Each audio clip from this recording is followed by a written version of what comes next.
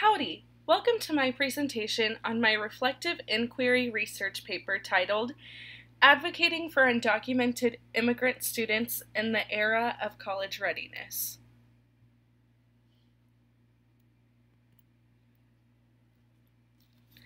As an educator who has worked primarily at public charter schools that promise that 100% of their students will go to and through college, I couldn't help but wonder if that was also true, true for undocumented immigrant students who face many barriers when pursuing post secondary education. During the summer, I took the EDCI 710 course that focused primarily on the Hispanic learner in the urban setting. It was in this class that I was able to further investigate my inquiry about undocumented immigrant students and their post secondary options. I found that they are very limited and due to their legal status, uh, their post secondary options, that is. Some either make it to college and drop out due to barriers they face, while others never even make it to college end up and end up in blue collar jobs. The issue I noticed with these outcomes is that students are being led to believe that they can go to college um, and they have been told that because they attend this charter school or this school, it is going to make them college ready and they will go to college, have a good job, and have a better life. And while this is true for um, American U.S. citizens, it is not always true for undocumented immigrant students. Unfortunately, their legal status bars them from many public state universities, um, and they are left only to attend small private universities that are extremely costly. In my paper, I call on educators to one, reflect on how the intersection between being college ready and an undocumented student presents an issue given the barriers they face, and two, to consider ways to advocate for these students and their post secondary options.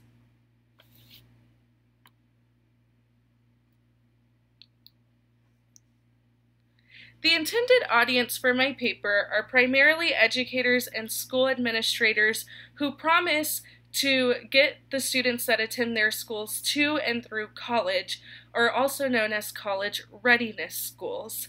Um, these schools, in their mission statement, say things like, we are here to serve underserved communities um, and get your students to and through college with our rigorous curriculum um, and our support and resources. I do, upon further investigation, but I, I do believe that all educators can have a seat at this table when it comes to the issue, and this is why. We have an increasing undocumented immigrant student population. Um, many data show that our uh, undocumented student population is going to grow in the next um, couple of years. Uh, we have also experienced the recent cancellation of deferred action for childhood arrivals, also known as DACA, which is going to um, leave many undocumented students with even more limited options. Um, and so our numbers will not only grow because more immigrant students are coming to the U.S., but also because less students will be covered by DACA.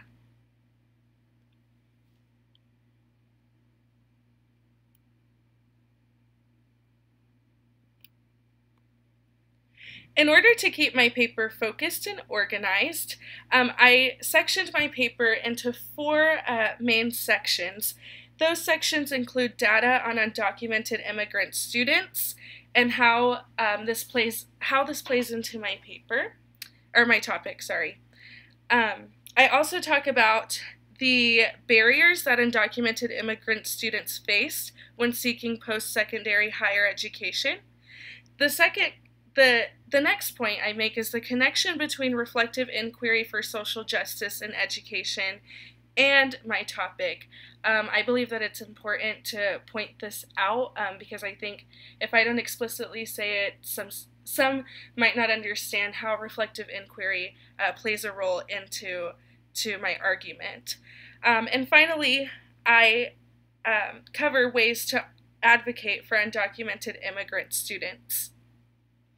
So in the following slides, I will delve deeper into how each section relates back to my argument um, that as, as educators and as school administrators who are promoting college readiness on our walls and in our mission statements, we need to consider our undocumented students um, and how we can support them um, because they are important too.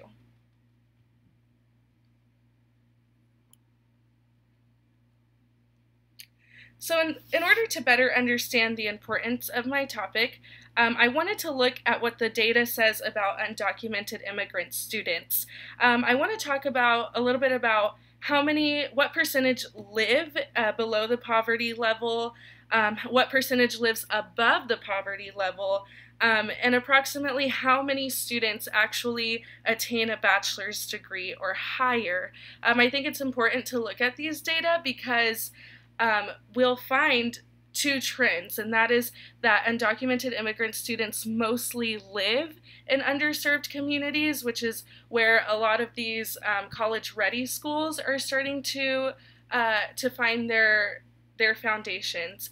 Um, so I think it's important to to establish what percentage um, that undocumented immigrant students live in these underserved areas. Um, so, according to the Migration Policy Institute, in Texas, about 31% of immigrant students live 100% below the poverty level, which is up by 16% when compared to their U.S. citizen born neighbors. Additionally, only 41% live above the poverty level, whereas 67% of their native born peers live above that very same poverty level.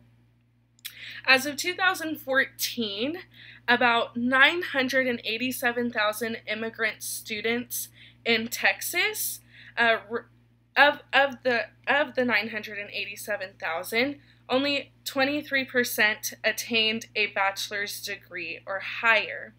Um, and as I said before, when looking at these data, I see that many undocumented immigrant students live in these underserved and often impoverished communities uh, where these college ready schools are, are functioning.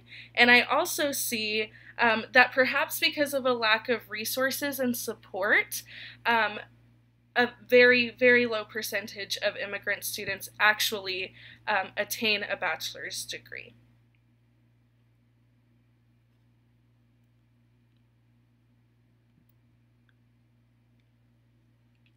So, according to the literature, some of the barriers that undocumented immigrant students face include liminal citizenship. Um, they are also banned from applying from FAFSA, and they also experience a lack of support and resources from school administration and teachers. The literature paints this idea of liminal citizenship as accepting and indoctrinating undocumented immigrant students as U.S. citizens. In schools, we motivate them and applaud their academic efforts and eh, encourage them to go to college and to be upstanding citizens of the United States. However, the liminal citizenship aspect comes into play when they realize that the only universities that are likely to accept them due to their legal status are private, costly ones that they may not be able to afford or their families. Throughout the U.S., and this is, I believe, a very uh, a little known fact, um, that throughout the U.S., undocumented immigrant students are banned from applying for FAFSA, which is a financial aid resource available um, to all U.S. citizens. This ban makes the financial burden of college too great to bear for undocumented students and oftentimes causes them to give up their dream. Um, and finally, the, the literature points to the need for more overt resources and support for undocumented students. Um, oftentimes, students must lean on each other as a network to get to college rather than the school counselors or the school college centers. Um, and so it's really it's really unfair that these students are kind of sidelined uh, when it comes to to resources available for them in in pursuing higher education.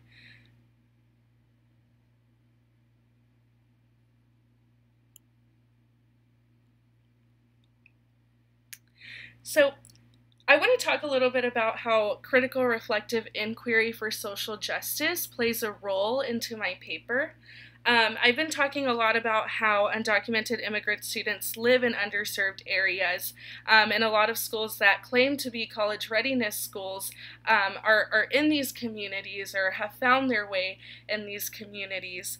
Um, and so I think that oftentimes, and it this is really drawing from personal experience, um, many many school administrators and, and even counselors and and even educators um, in these these college readiness schools um, have this idea of oh I'm doing such a great thing for this underserved community and um, all I have to do is go to work every day and um, you know just keep encouraging and pushing these kids without um, actually thinking about and perhaps even considering their privilege and how um, their U.S. citizenship granted them the the access to to go to college and to pursue degrees to be teachers or school administrators and things like this. Um, so I think that that although reflective inquiry is intended to be a tool for teachers to perfect their craft, um, I have chosen to use reflective inquiry for social justice as a call to school administrators and educators to consider the circumstances our undocumented immigrant students are in and how we can support them in the age of college readiness. Uh, Nona Lyons explains that a large part of reflective inquiry for teachers is recognizing the politics and the inequalities that exist in education and how we play a role in either promoting those inequalities or helping to tear them down. Um, when we look back at the at the barriers that undocumented immigrant students face, we find that they are either politically motivated or fall on the shoulders of school admin and or teachers. Um, and I think oftentimes we need to take a step back and we need to reflect on am I actually um, being a resource? Am I going and being knowledgeable? Am I finding uh, programs that support these undocumented immigrant students? Because it's simply not enough to encourage them to go to college. We also have to be there to support them um, in applying, finding financial aid, um, and really breaking down these political barriers um, that ban them from pursuing higher ed. Um, in my paper, I make the argument that if we claim to be schools that prepare students to be college ready, we must also deliver that same support um, to our undocumented students by advocating for them.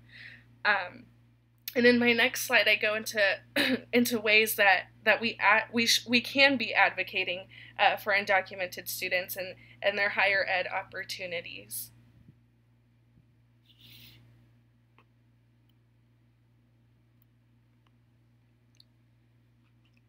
So, woven in the literature on ways to advocate for undocumented uh, immigrant students are several themes that I found. Um, and these themes include being knowledgeable on your state's laws concerning undocumented students in higher ed. Um, it's important to seek resources from institutions of higher education.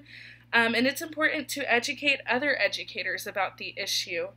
Um, more than just being knowledgeable, about the laws pertaining to undocumented students and higher ed. I think it's also important to stay up to date on legislation that may, that may be in the works for these students.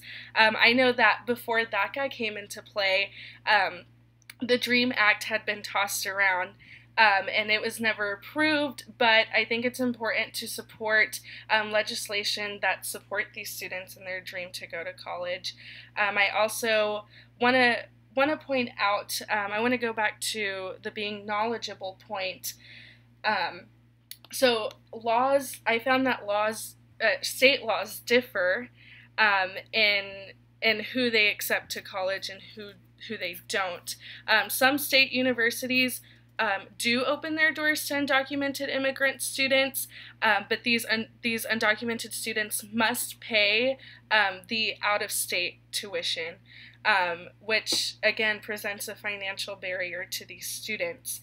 Um, each law, each state is different in in how they um, and who they I guess accept to college.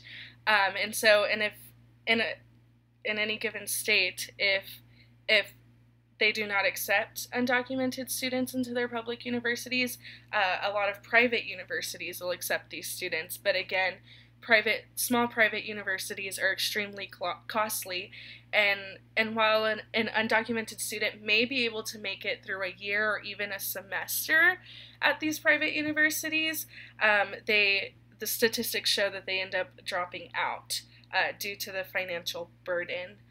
Um, I also want to point out to um, when I said educate other educators, um, I think that one way to give these students voice is to educate other educators about this, as I said before, um, not keeping you know what you know about undocumented immigrant students to yourself, but um, really letting your colleagues know about their struggles that they face and, and really calling on them to reflect on how on ways that they can help these students um, that they encounter in their their classrooms.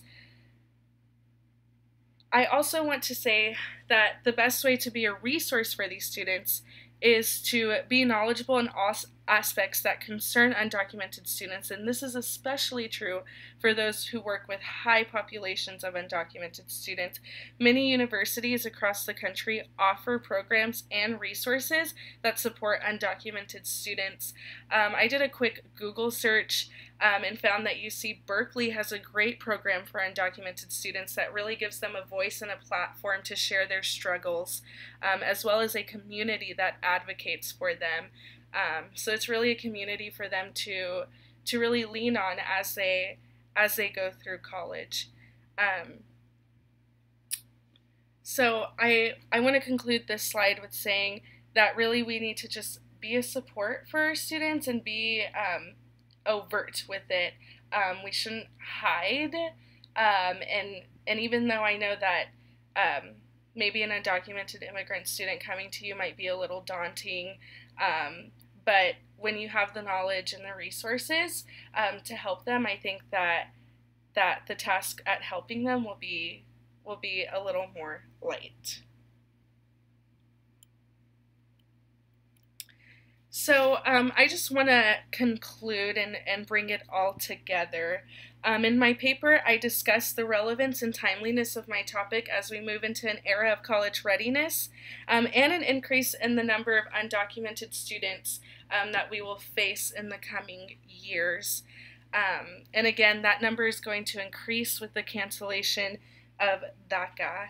Um, I call on educators and school admin to reflect and consider the barriers that undocumented students are facing when confronted with the reality that they may not make it to college.